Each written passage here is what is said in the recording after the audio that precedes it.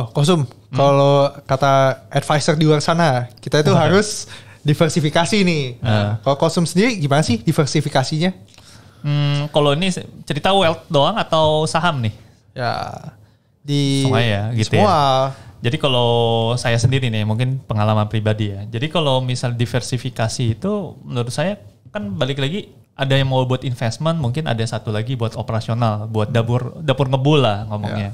Kalau saya sendiri sih kalau yang buat operasional tentu pasti beda-beda ya tiap orang. Ya at least menurut saya eh, satu tahun lah. Itu kalau anggapannya nggak ada penghasilan satu tahun bisa ngebul terus tuh. Sama, sama. Ya satu tahun paling. Nah sisanya itu di investment. Nah yang paling lucu sebenarnya di investment banyak orang pun juga investmentnya dipisah-pisah. Satu harus ada yang pasar tetap, terus habis itu ada yang bilang emas, ada yang apa. Menurut saya eh, ini ke sebuah ke misleading ya. Misleading kenapa? Karena saat kita berinvestasi kan kita harapannya returnnya mau paling besar dong. Bener gak? Yang punya resikonya rendah terus returnnya besar. Nah mungkin hal ini yang misleading kenapa? Karena ada anggapan High risk, high return. high risk, high return. Padahal sebenarnya di dunia saham itu kita bisa mendapatkan saham yang uh, bisa risknya rendah sekali tapi returnnya gede gitu.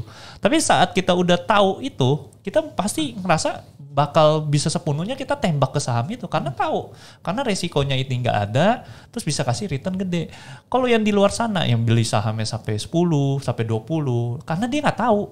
Karena dia nggak tahu risknya masing-masingnya itu. Ya dia gennya juga nggak tahu kira-kira.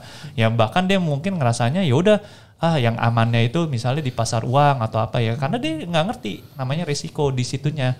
Dan itulah yang menurut saya kesalahan di situ ya bukan diversifikasi malah diversification. Karena nggak ngerti apa-apa malah ditembakin satu. Kalau saya sendiri ya kalau saya udah tahu nih ada no risk ya maksudnya beli harga sahamnya benar-benar udah di bawah nilai buku bisa BEP bahkan cuma dua tahun doang gitu ya. Terus eh, bisa istilahnya dari dividen aja bisa 30% 40% dalam setahun beli beriin ke saya. Kenapa saya harus mikir lagi? Kenapa nggak saya tembakin semua ke situ? Ya kan? Kalau dibilang noris noris dong. Misalnya anggapannya Low ah, lah, low. iya, Nggak sampai low low lah lah ya. Low, low. risk lah ya. ya low risk pak ya. Misalnya dalam satu tahun anggapannya harga sahamnya nggak naik ya udah saya nikmatin aja bisnis returnnya. Kenapa harus pusing kayak gitu kan? Nah itu em, yang paling penting sebenarnya kita harus ngerti dulu apa yang kita beli gitu kita harus ada circle of competence terhadap bisnisnya itu. Baru dari situ kalau orang yang misalnya dananya udah besar sekali ya mungkin mau nggak mau nih untuk beli saham ini waduh malah ntar malah, malah naikin harga sahamnya. Terus terlalu kecil nih size nya ya udah mau nggak mau dia harus uh, diversifikasi. Terpaksa diversifikasi, terpaksa itu ya. tepatnya gitu. Tapi kalau masih bisa pilih yang terbaik kenapa harus pilihnya dua atau tiga gitu. Ini kayak ibaratnya kayak orang lah misalnya masih belum punya pasangan gitu ya. Masih cari di Tinder atau di Bumble atau apa. Dia nggak ngerti nih yang paling baik dari tiga laki ini atau tiga wanita ini gitu. Dia ya udah coba jalanin aja dulu lah tiga tiganya empat Kenal nih kayaknya. nah ya kayak gitu. Itu ibaratnya kayak gitu. Orang yang punya saham lima ya kalau kecuali dananya satu Iya. triliun ya lima ya waduh berarti 200 m 200 m gitu ya mungkin oh nggak mau lah 5% atau apa itu bisa dimaklumin lah gitu ya Karena size-nya juga susah Size-nya keserap. besar ya. Susah keserap. tapi kalau yang duitnya baru 10 juta, 20 juta, tapi sahamnya ada 30 juta, ya ampun itu supermarket apa nggak yakin. portfolio? iya, itu nggak dia nggak yakin Nggak sama yakin semuanya, dia nyoba-nyoba. Kalau ada yang naik baru jual, apa nggak pom pom gitu ya, taruh di story. Hijau pom pom, kalau merah disembunyiin. ya, jadi diversifikasi itu eh, sebenarnya sedikit nggak make sense Sam untuk orang yang ngerti apa yang dia beli apa yang dia lakuin gitu loh. Cuman kalau kita nggak ngerti kita cuma pengen hasil eh, oke relatif terhadap marketnya ya diversifikasi make sense gitu. Makanya di modern finance kan udah bilang tuh minimal beli 30 saham. Ya, jadi, Which is sebenarnya eh, nggak make sense kalau buat orang yang benar-benar ngerti apa yang dia mau beli. Kalau memang udah yakin ini murah, yakin ini bagus. Seperti kata kostum tadi low risk high return buat apa diversifikasi? Ya kalau mau diversifikasi pun juga eh, nggak usah terlalu banyak gitu. Misalnya saya nih saya tahu misalnya ada 50 perusahaan gitu. Disuruh pilih 10 yang terbaik saya bisa misalnya. Disuruh pilih tiga yang terbaik saya masih bisa. Yang potensi kasih saya return terbaik ya. Tapi dari tiga misalnya nih suruh pilih satu saya udah bingung. Misalnya nih ini mirip-mirip nih. Ya mungkin saya beli tiga-tiganya. Iya. karena mirip-mirip. Gitu. Tapi saya nggak maksa untuk jadi 10 for the sake of diversifikasi aja karena itu malah akan nurunin return kita malah kalau kita beli yang kita nggak gitu yakin eh, kita nggak gitu tahu eh, sampai jeroannya misalnya Sampai hanya untuk rupanya bener-bener jelek, waduh habis. dan hanya eh, kita maksa beli hanya untuk diversifikasi yang ada malah returnnya jelek kan, Hmm. bukannya bagus gitu. Nah, itu yang sayangnya banyak banget orang di luaran sana eh, nggak paham soal ini Sam. Jadi jadi ya udah pecah-pecahin duit aja ke mana-mana kayak kayak tembak peluru spray and pray lah bahasanya. Spray and pray. ini ada yang lucu juga lah. Misalnya contoh orang nggak ngerti apa-apa disuruh beli indeks aja. Iya. Sebenarnya gini ya, em, bukannya saya against dengan indeks. Mungkin orang yang tidak mau effort sama sekali buat analisa, Yes, ya best pasti ya udahlah mungkin. solusinya indeks aja lah biar setidaknya lu ikutin market gitu. ya karena di market kita di 700 perusahaan ada yang bagus banget, Iya, ada yang bagus yang banget, ada yang jelek. jelek banget. Yang jelek bisa jadi nol, yang bagus bisa tumbuhnya tumbuh terus gitu kan. Tumbuh terus iya. Tapi kenapa enggak ya kalau misalnya kita udah memang mau dedikasi investasi di saham ya udah yang ngertinya cuma tahu BCA, ngertinya misalnya cuma BNI, ngertinya BRI, ngertinya Astra, ngertinya Indofood, ya mainnya di situ aja, di circle of competence-nya aja. Nggak usah paksain diri lah, lagi hot-hotnya saham tech, lagi sahamnya data center lah, semua dipaksain beli biar kesannya keren nih, ngerti ikutin update. Gak usah kayak gitu. Main di circle of competence aja itu udah cukup enough kok. Yang penting kuncinya benar-benar tahu bisnisnya itu.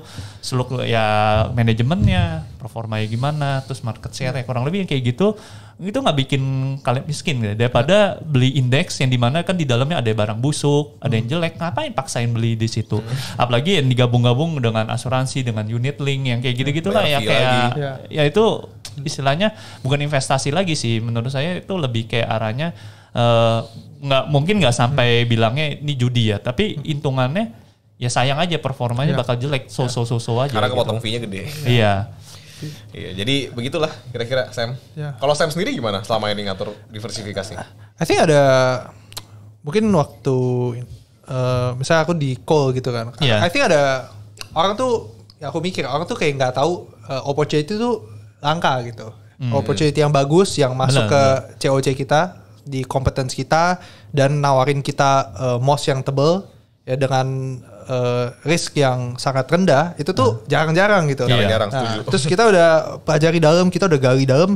Ya kalau kita cuma beli ah 5% gitu, ya 10% doang. Kita kan ya berarti ini sisanya mau taruh mana lagi? Dan Iya. ini kan udah very good opportunity. Karena saya itu opportunity yang kayak gitu kan nggak datang setiap hari. Dan dan gini Sam, biasanya kalau yang masih beli 5-10% itu dia nggak benar-benar Yang yakin. yakin dia, Kalau benar. yang udah yakin, kita rasanya mau beli berapapun malah nggak pernah cukup duitnya gitu nggak Sam? Iya. Rasanya malah pengen jual mobil tambah saham. dan itu lucunya ada di ayat loh ayat kitabnya agama saya ya Iya. di mana uangmu berada itu hatimu berada itu bener jelas jadi kalau bilang misalnya Sam ini nggak usah cerita saham deh oh gue sayang nih sama pacar gue tapi nggak pernah dibeliin bunga tapi beliin bunganya ke yang wanita lain. Hati lu di ceweknya itu apa enggak kan maksudnya bisa aja orang di luar sana ngomong oh gue yakin banget nih sama saham tapi cuma beli sahamnya 5% sebenarnya dia nggak yakin sama sahamnya yakin itu. itu. kalau itu pun juga kelihatan oh gue yakin nih sama sahamnya ini A gitu. Kalau belinya cuma 10% 15% jangan pernah denger lah dia aja nggak beli. Iya. kecuali dia udah sampai all in tapi bukan artinya dia beli all in. Iya. artinya kita harus uh pasti ini udah all in nih. Nggak juga kita harus tetap assess tapi apa yang dia ngomong sesuai dengan tindakannya tindakannya kelihatan dari situ Ya, Ya. masa- masalahnya itu orang nggak bisa kelihatan di sosmed. benar Harus main kita harus ah, ya kalau kita sih bisa ngelihat. Cuman kalau buat orang awam biasanya ngelihat ada yang beggar langsung langsung wah ini orang hebat gitu. Padahal bisa aja dia beli slot aja semua saham. Iya. Mana yang Kita nggak di tahu, screenshot. Iya, di screenshot. Orang kan bilangnya ditutupin lotnya gitu segala biar nggak sombong lah. Iya. Apa bilang aja cuma satu lot. Beli aja 700 yang mana beggar di screenshot. Iya. Belum kalau fotonya diedit gitu ya kan, edit Iya. bisa aja. Malahan yang bener-bener punya barang bagus diem-diem dia. Iya. Sampai udah exit, udah jual Iya. baru. Oh iya, Baru cerita, udah iya. baru cerita saya udah untung berapa. Itu bukannya baru beli sedikit pamer-pamer udah. Ya. Nggak- Karena nggak bisa beli lagi. Iya, bisa Iya, beli lagi. Karena kalau dia tahu nih barang bagus banget, actually dia harusnya ngumpulin gitu ya. Iya. Ya mungkin kalau mau ngumpulin dalam jumlah yang ya banyak itu, misalnya dia belum selesai beli, dia udah kasih tau orang semua, ya udah nggak ini kan, Bener. udah nggak dapet lah. Bahkan kayak ada yang menarik lah di kayak misalnya ada yang ngomong dividend trap kan. Iya. Ya, ha- biasanya kan menjelang harga saham naik nih, ya kan eh harga naik menjelang mau bagi dividen Iya. kan di cumdetnya. Terus habis itu kan besok harga jeblok gitu kan, udah pada jualin gitu segala. Dan itu sebenarnya hal yang bodoh sih. Ya, karena di situ kan artinya kita ngejual mesin yang cetakin uang kita. Dividen kan ah, uang yang dihasilkan dari bisnisnya itu. Padahal kalau kita tahu nih misalnya kan pas dia udah cetak uang bagi dividen, sebenarnya dividennya bisa dibeliin lagi loh Hmm. ke sahamnya lagi Iya. dari uang jadi mesin cetak uang Iya. lagi itu merupakan uh, advantage. Ya kita tahu sendiri kan ada teman kita yang malah sedih harga sahamnya udah keburu naik padahal kalau bisa hancur terus aja. Duitnya diputerin terus, ditembakin terus ke Iya. untuk beli induknya Untuk lagi beli gitu. induknya. Wah, itu kan uang cari dapetin uang lagi, diubah terus, diubah terus kayak gitu. Iya. Oke.